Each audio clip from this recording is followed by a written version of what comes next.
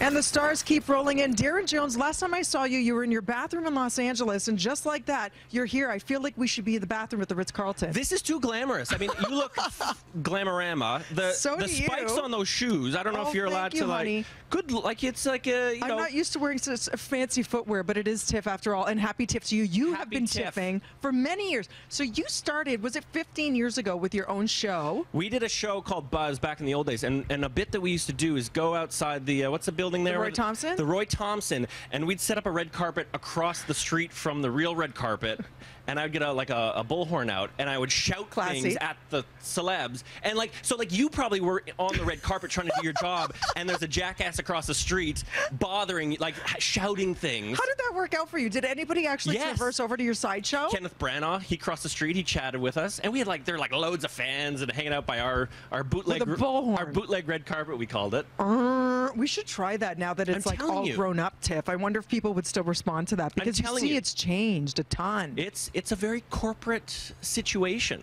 However, I will say the the stars do love to party. It is the People's Festival, and that if you get out and you go to these parties and you walk the streets and you head to Yorkville to the restaurants there.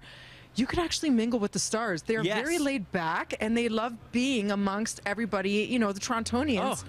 Who George here to have a Clooney is passed out in the lobby right now. Right now. You could go you could go and pants him if you wanted to right now. You walked over him on the step re- repeat to get here this morning. Did, so yeah. it's going to be wall to wall stars all It's so much, long. It's fun. And you know what? If you want to get photos or like autographs, you can just hang out and you're gonna run into people. It's true. And heckle. Uh, Jake Gyllenhaal, loving the beard. Beard yes, beard no. I'm pro Jake Gyllenhaal. He can do no wrong as far as I'm concerned. Yeah. I interviewed him once, and see, this is. Okay, actually, I do have a problem with Jake Gyllenhaal. What? He's one of those guys where it's all kind of working out real well. Like he's handsome, and then we What's did up a- with that? He pulled up his shirt, and he's got like these.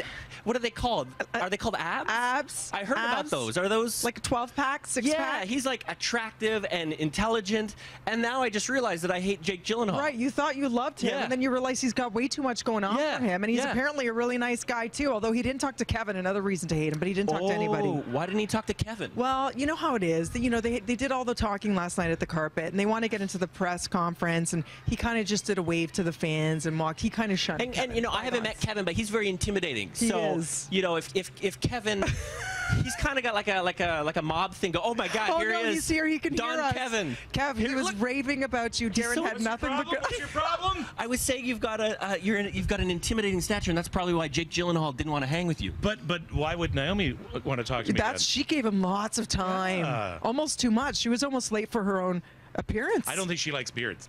I think that's what it is with Naomi. Really? Breaking news. Okay, so who else are you looking forward to seeing? Because I know you've got a I, big just, event. I, I got to appreciate what I just experienced. I That's appreciated Kev. the Don Kevin experience. He rolls in. Don, he likes He smells to like high ambush. karate. It's amazing.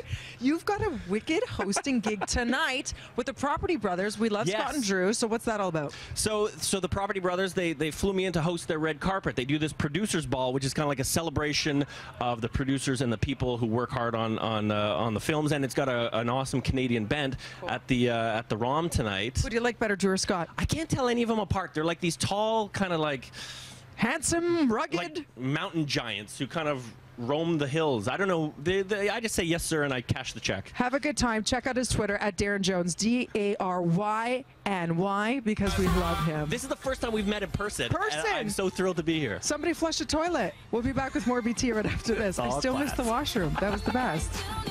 Breakfast television is brought to you by Leon's. For furniture, mattresses, appliances, and TVs, you'll find your style at Leon's or leons.ca.